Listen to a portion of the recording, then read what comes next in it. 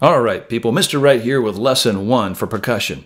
In this lesson, we're going to be studying the basics of music notation. Most of the band will be using what's called staff lines. The high people using the treble clef will have their staff lines. They'll be using the treble clef, and the bass clef folks will be using these staff lines. And down in the bass clef, they'll have two different clefs.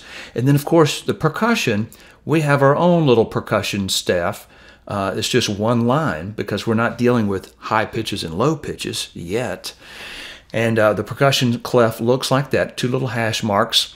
And this right here is what's called a time signature, the top number and the bottom number. It's not a fraction, it's a time signature. The top number tells us how many beats there will be in each measure. From the beginning to this bar line is measure one. From this bar line to this bar line is measure two, and so forth. So that's the, how many beats in each measure. So there's going to be four beats in every measure in this time signature. The bottom number uh, we take and we divide that whole, that that number right there, the four, into this first note. Now this note is a whole note. Notice that it looks like a whole. And I want you to think of this whole note as a standard complete note by which we shall measure all other notes. So this is a whole note and it takes up this whole measure. All right, so we kind of get a clue that hmm, this whole note that takes up the whole measure, since every measure is going to receive four beats, hmm, that must get four beats as well. This bottom number, we can take it and divide it into this whole note. And when we divide this whole note up, we get four parts or four quarters. So this bottom number tells us that the quarter note will receive the beat. Now, we'll get into quarter notes in a minute. They look different than this guy right here. But this whole note's going to take up the whole measure. And in this next measure that also receives four beats, there's a dash right there that's called a whole note rest. It's going to receive four beats of silence. So four beats of sound for the whole note, four beats of silence for the whole note rest. And it goes back and forth like so. Um, if we move down to the down the page here, uh, I actually show you with arrows these four uh, beats, how each beat is represented with these little four arrows. And there's a little squiggly looking sign underneath them it's slanted like that. Those are roll marks, and I'll get into that later in the later part of this lesson to show how we're going to sustain pitches or, or sounds. Uh, the brass and woodwinds, they will blow a constant stream of air through their mouthpiece, causing the lips to buzz or their reed to vibrate or a column of air to vibrate to get a sustained sound. We're going to do it in a different way called rolling, uh, creating a roll. And but we're not going to get into that just yet. But there's four beats of sound in this measure: one, two, three, four. Rest. Two, three, four. See, both of them receive four beats, and in my mind, have to count those four beats so, till I give those notes or the note values their proper uh, length of time that I'm supposed to hold them out. So it's four beats of sound, four beats of silence, and it goes back and forth. Now, down here, measure 17 looks like a whole note, but there's this little stem connected to it. And so these are called half notes. They're half as long as this whole note up here. So this is since this is four beats and these are only half as long, these are only going to receive two beats apiece. And you see these little arrows that represent that. So dun dun dun, and right here is a, what's called a half note rest. Notice up here that the whole note receives four beats of silence. It's hanging underneath. He's kind of a little bit heavier, so he's hanging underneath. But this half note rest, oh, he's a little bit lighter, so he can sit on top. You can also, you don't really have to say, oh, I can't remember which one's which. Well, just take a look. This whole note rest takes up the whole measure. Hmm, must be a whole note rest. This one right here only takes up half the measure because this half note takes up the other half. So it must be a half note rest. So it kind of gives you a clue as to which one's which. You don't really need to remember where it is exactly on the little staff line there. These are half notes, two beats apiece, two beats of sound apiece, and of course the half note rest. And you can see how that were just kind of different combinations of sound versus the silence. And down here in 25, uh, 25 is just quarter notes, and they are the ones that are different. The quarter notes, they are solid on the inside. They look like a half note but they're solid on the inside. And these are quarter notes that receive only one beat apiece, like dun, dun, dun, dun. Then these are quarter note rest. Uh, these little squiggly looking sign things right there. One beat of silence each. So it's dun, dun, dun, dun, rest, two, three, four. Dun, dun, dun, dun, rest, two, three, four. The other thing that we want to cover real quickly in this segment is how to conduct. Notice that this little conducting pattern, a conductor will use this pattern to show you what beat we're on in each measure. So, for instance, the first movement they'll do is called the down beat. Beat one, two, three, four. Down to left, right, up. With a baton, uh, this is called a baton. It's a French word. Uh, it's all made of wood. Sometimes they're made of fiberglass, but this one's made of wood. Uh, a baton, they, they'll use this to conduct the beat or to give a cue as to when you're supposed to come in or when you need to stop. But uh, from the tip to your elbow, it's supposed to be straight. You don't want a conductor that conducts like this because where's the beat in that? You need to be able to see this beat pop. Three, four, one, two, three, four. From your perspective, if you are conducting and you need to learn how to conduct, you're going to be down to left, right, up, down to left, right, up. Now it's all supposed to be parallel to the floor. I'm kind of aiming my arm up a little bit, angling it up a little bit so that you can see what I'm doing. Down to left, right, up. And you need to have, learn how to do that. So it's down to left, right, up. And with your other hand, uh, you want to learn how to do what's called crescendos, where we get louder, and decrescendos, when you get softer, and how to cut off. You just bring your fingers together. So it's crescendo, two, three, four, decrescendo, two, three, four, and off. Right? So there's a whole uh, study about conducting, but you need to learn how to conduct so that you can understand what they mean and you'll be able to follow the conductor a lot better if you understand that language. So that's super important to learn how to do that. Now, when we were looking back here at these roll marks, we can't just blow air like the brass and woodwinds to create a sustained sound. We're going to have to do something called a roll. So now we're going to move over uh, to a different area of the studio here to kind of demonstrate what we're going to do and how we're going to have to think in order to perform these rolls. Okay, we're in our next little battle station. First, I want to start off by talking about your stick grip. This is one of many different types of stick grips. I use a lot of different types of grips as I play different things on the snare drum, timpani, and etc. But for just snare drum right now, uh, let's talk about that. If you've got Vic Firth drumsticks, uh, this a good drumstick to start off with is the SD1 General. Um, these are beat up. My students borrowed them.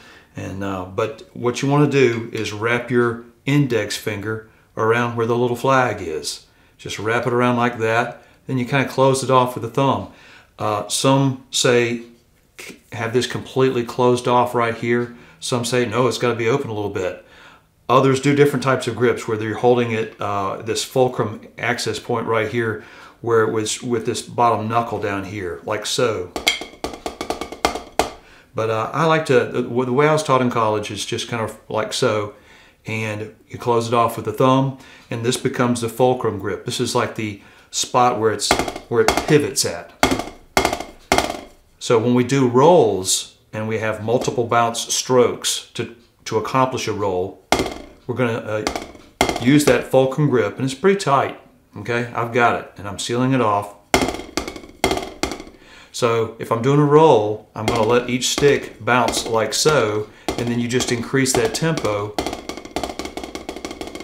like so. If I'm on a real snare drum, and that's how we get sustained tones. Again, that rip, I'm just grabbing it with my first finger, uh, closing it off with my thumb, and then these fingers are gently wrapped around. If I'm playing single strokes, like if I'm letting this drum, the snare drum stick just strike once, like so, I tend to do a slightly different kind of grip because, uh, grip because I'm thinking in terms of getting ready for single stroke rolls or single stroke rolls on the timpani. So for instance, I would be, I've got this same basic grip, but I'm instead of the, the stick coming to the, the palm of my hand over here, I, am kind of aiming it more toward the center. And some professors will say, no, don't do that. But uh, the way I do that, or why I do it, is because I want it to land right in this little part right here between these two fingers. I want it to cradle right there because I'm going to use these two fingers to pop that drumstick in place. If you raise your forearm up just straight up and down uh, and use gravity, uh, you can use that to simulate the, the rebound from a snare head or a timpani head. So you do that and you get that little point, you find that little fulcrum point, and of course the stick will be sticking out about an inch and a half beyond your hand to find that another way if it doesn't have that design or if you've got a different kind of drumstick. But I'm using gravity to simulate that rebound from off the drum head. And I want it to land right there between these two fingers because then I can just use my fingers and all of this stays nice and relaxed. So all this is just relaxed. You don't want any tension. Uh, you don't want to go with your whole arm. Uh, sometimes, like when I'm doing a roll, I will use uh, wrist, and if I'm doing a loud roll, uh, more of my arms. So it kind of depends on how loud you're playing a roll, how soft you're playing a roll, how you just. It kind of depends on what you're doing. Now, that's the basic stick, stick grip and the beginnings of a roll. You just basically practice with one hand, just pressing that snare drum stick into the head. And really the only thing that's touching is, is my index finger, first finger, and my thumb. Practice the same thing with both hands. And then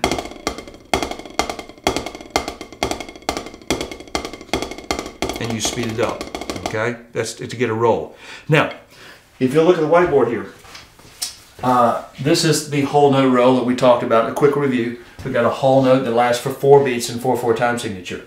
It, uh, four, and then these are half notes under here. Now I've attached roll marks. You won't always see the little roll hash marks on there, but uh, I'm just showing you if we were to do sustained pitches uh, on the on or sounds on a snare drum, which was a roll, but four beats, two beats, and uh, these are quarter notes, and I've put roll marks on them because we're going to talk about how would you roll on a quarter note.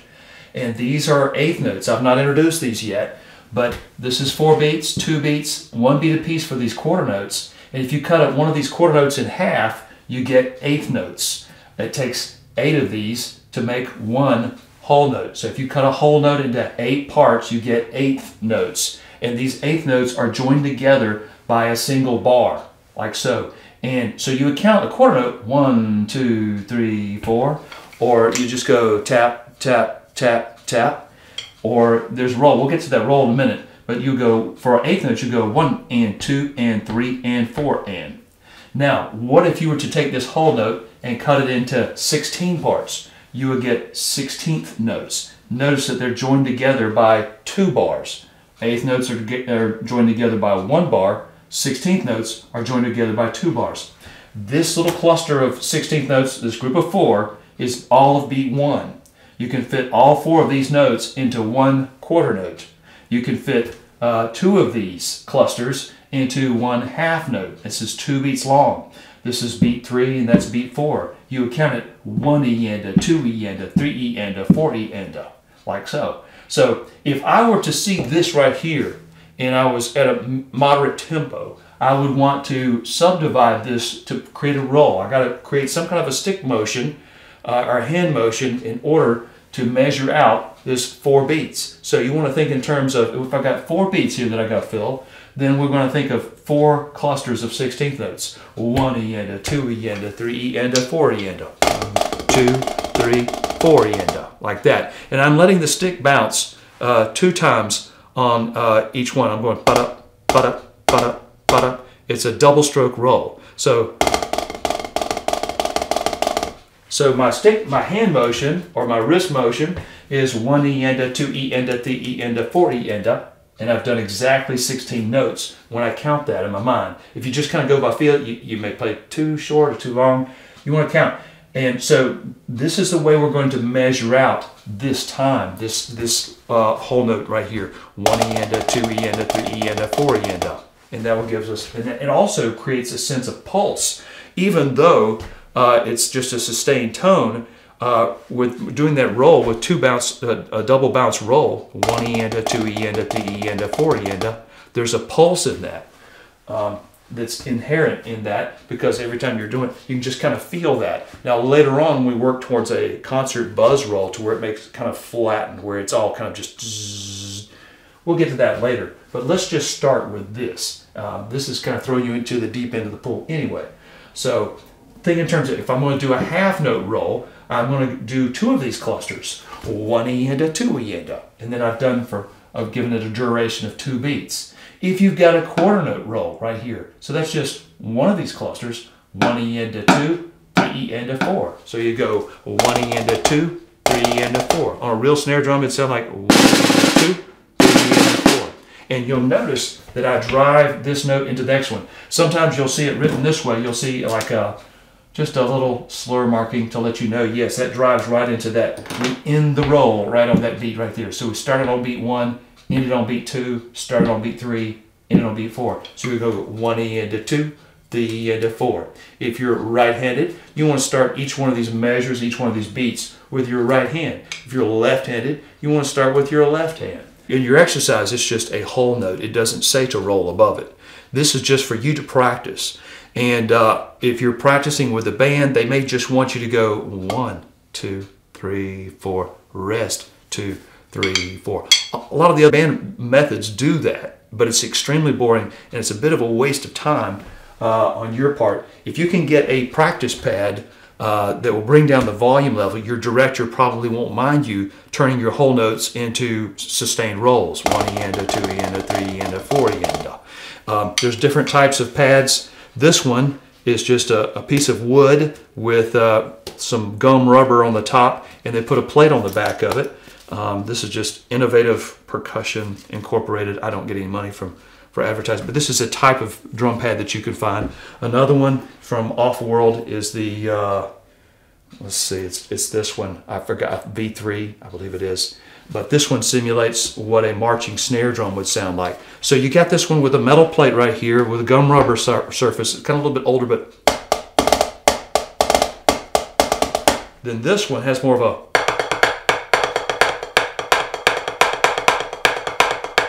kind of that kind of a that kind of surface to it. And uh, but it's it's the snare drummer, marching band, snare drum folks. They, they love this type of. Uh, it's got a rim and everything to practice rim shots.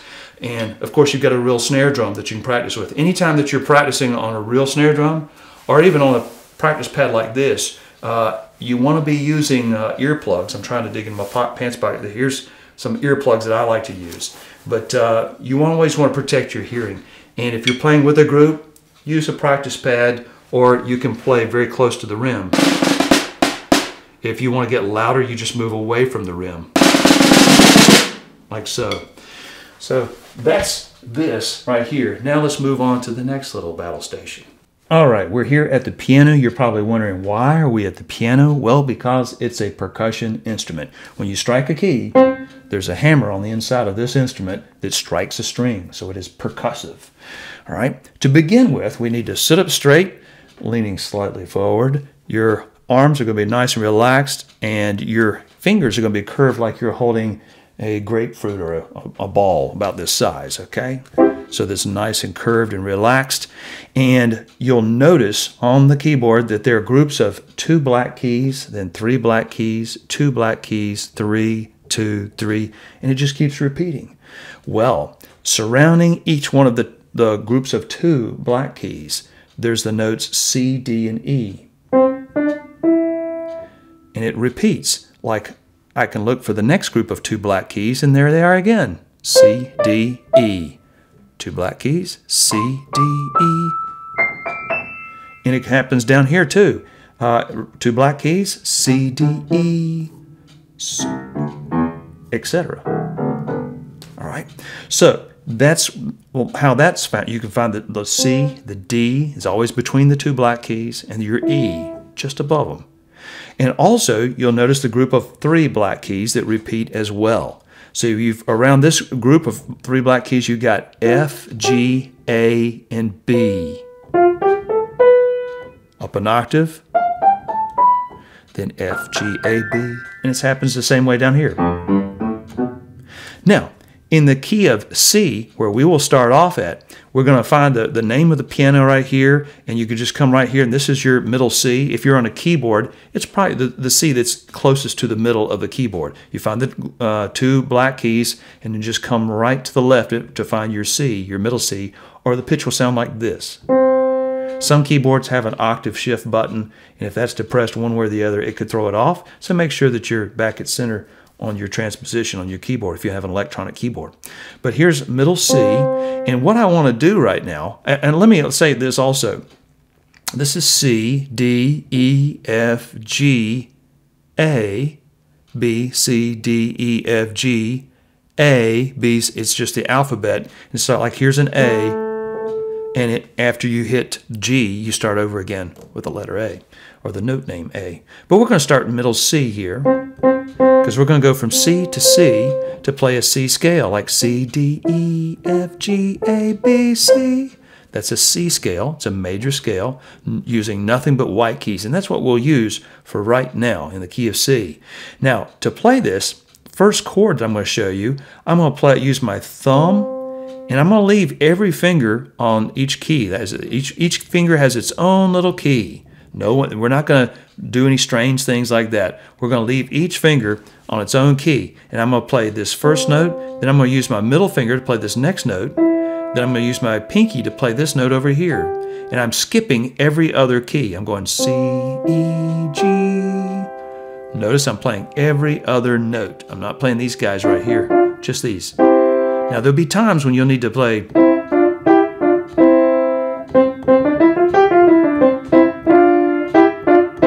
So that's why it's important for every finger to have its own key and not to try to do anything strange like this, like you're some kind of a alien. No. So and get used to your fingers being able to achieve that little formation right there. Because then we want to take every finger, just move your whole hand structure up a step to playing every other note from this D to the F to the A? Then I'm going to move my finger, and that's a D minor chord right there. It's also a, uh, a two chord in this key. Like for instance, this is a one chord, this is a two chord, this is a three chord, a four, a five, six, seven, and then we come back to the, it's a one chord again because we're an octave higher now. These intervals between these different notes right here, this is the unison if I play but if I move up here and play this note at the same time, this is called a major second. If I and we start off by counting this one as one. So this is one, two, this is one, two, three. That's a third. That's a part of our triad there, that, or the chord that we were just playing a while ago. And if I move up here to one, two, three, four, the distance between these two pitches is a fourth. So this is a distance of a, a second, a third. This is a distance of a fourth. These two pitches they have an interval or a distance. It's the same thing. an interval is the same thing as a distance. But this is a fifth, perfect fifth. Then a sixth, one, two, three, four, five, six. Then this is a seventh, and up to an octave, sometimes notated as a little eight. All right? So practice doing just that, forming that uh, triad right there or chord, that shape with your hands, playing every other note. So this is a C chord. If this is a D, this is a D, D chord. It's a D minor chord. Um, this is an E minor chord, or a three chord, a four chord, which is an F chord, and a G, which is a five chord, and here's a six an A minor chord. Now, and you'll notice in some lyrics you'll see that people have uh, there'll be just a, a, chord symbol written above it like a C chord or an F and a G.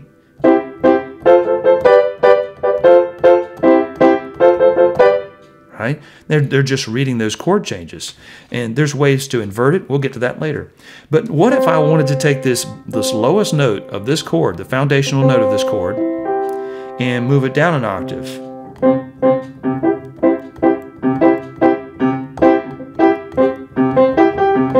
You'll start to notice also, by the way, that I start to divide my hand into two parts, my thumb and my other fingers.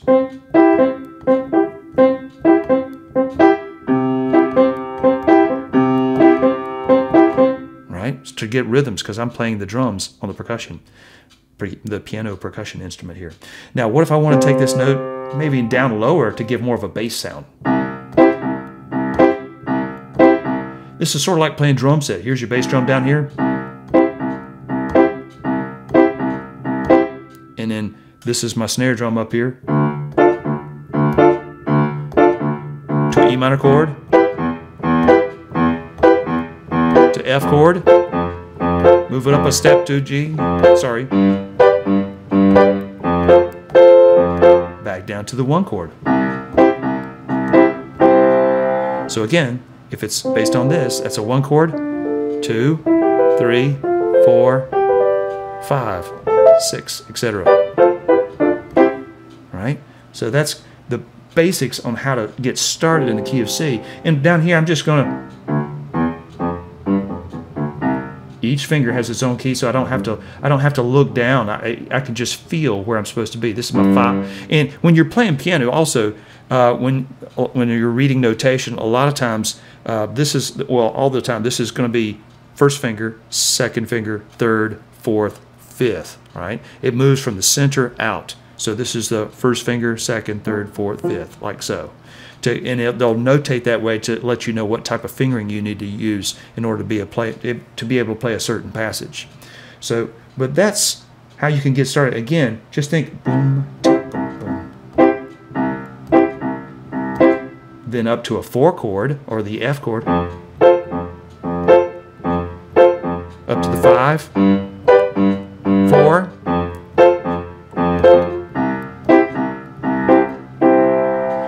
practice that to get the idea, and then we'll get into the notation of this uh, in the next video. Now, the final segment of the drum set. You're thinking, I can't play the drum. Yeah, you can. It's not that hard. There's three basic elements that you want to start working on when you play drum set. And you don't even have to have a drum set to start working on these three basic elements. First of all, if you can just tap your foot on the floor, that'll be your bass drum. And then your snare drum needs to be like a stack of books on like a table or desk, and then get another stack that's higher, a couple of books, to be your hi-hat. So it's these three things, the bass drum, snare drum, and the hi-hat. The bass drum needs to be the loudest. The second loudest is the snare and the hi-hat a little bit lighter. Some people go whap. Nah, nah, nah. This is softer, a little bit louder, and then the bass drum is the main thing, okay? So as you begin this, just, just start doing this with your right foot on the, on the pedal. And also you want to close off that hi-hat. Just close it off. If, if you strike the hi-hat later, okay? First of all, just start off with going boom, boom, boom. one, two, and three, four. One, two, and three, four. One, two, and three, four. That's a pattern we're going to be using later on. Now, on the hi-hat, this guy right here, we're going to just uh, close off that hi-hat with your foot and just lightly with the snare drum stick, with your right stick, you're going to play eighth notes like one and two and three and four and like this. One and two and three and four. Now, I'm not going to use sticks right now. I'm going to swap over to brushes so that you can hear what I'm saying through this microphone over here. I've got some ProMark brush brushes that I like to use. Very nice. Okay, so just so you can hear me. So we're going to do eighth notes on the hi-hat, going to one and two and three and four and one and two and three and four. You just want to make it nice and even. Then as you're doing that, you want to start singing boom, boom, boom. One, two, and three, four. Boom, boom, boom. Because if you can say it, you can play it. So boom, boom, boom. Boom, boom, boom. Then you play it. Boom, boom, boom. Boom, boom, boom. And when you strike the bass drum beater against the bass drum, you don't want it to be flailing like like boing, boing, boing, like that. You want it to, to rest against the bass drum head like like that. So one and two and three and four, then you play it, boom, boom, And I like to kind of feel it in my hand, uh, kind of flex it as I hit that bass drum. Boom, boom, boom, four. One, two, and three, four. One, two, and three, four. One, two, and three. So you're striking the bass drum on beats one and on the and of two and then three. So it's one, two, and three, four. One, two, and three. Then we're going to start singing the snare drum part on beats two and four by saying tap. So start off with your hi-hats on uh, the eighth notes on the hi-hat, one and two and three and four and one and two. Then you start singing the bass drum like this. Boom, boom, boom, boom, boom, boom. Then you start singing the snare drum part with it as well. Boom, tap, boom, boom, tap, boom, tap, boom, tap. You may just want to practice one, two, and three, four. One, two, three, four.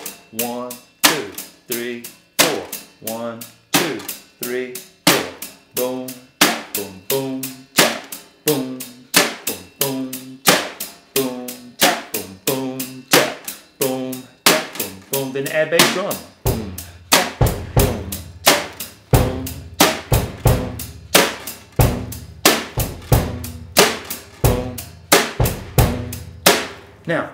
What we're going to do is learn a four bar phrase. Is we're going to play four measures of this same exact pattern. All right, it's in four four time signature. During the fourth measure, we're going to add what's called a drum fill. So when we get to measure four, we're going to go four two da, da,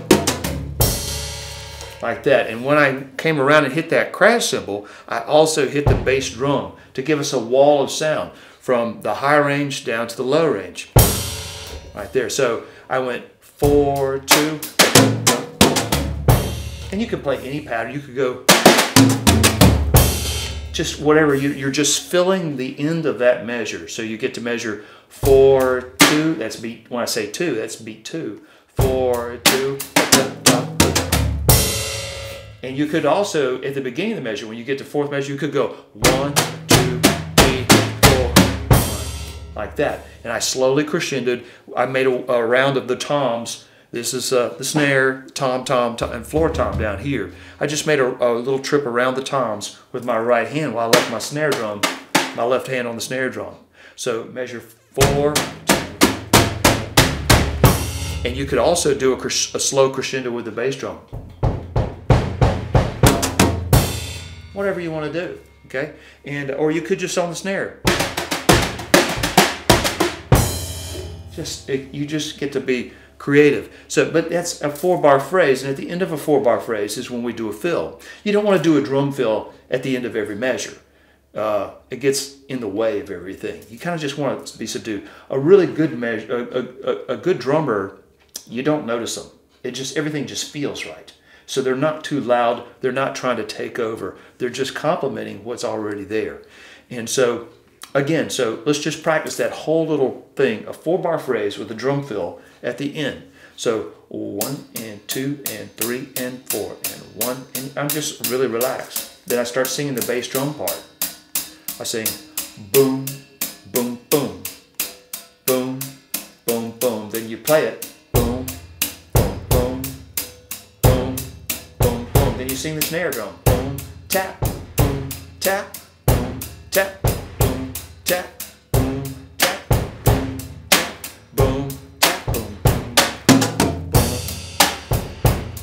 Measure two. Measure three. Measure four, two, one. And that, when I hit that crash cymbal, that's one of the next four bar phrase. One measure two, measure three, measure four, one, two, three,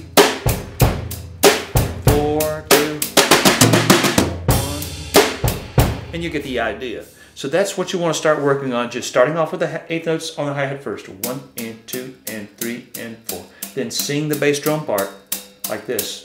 Boom, boom, boom. then you sing the snare drum part, and then you play it. Because if you could say it, you can play it. So I think that concludes our first percussion lesson one. I'm trying to get you to, to see that you can become a well-rounded percussionist that can handle all the different responsibilities.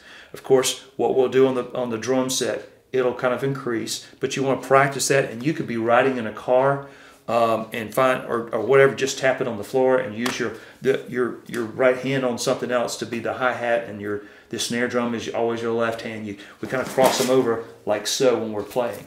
So uh, you know, just practice that, and uh, you'll you'll be amazed if you just work on a little bit every day. You'll get it.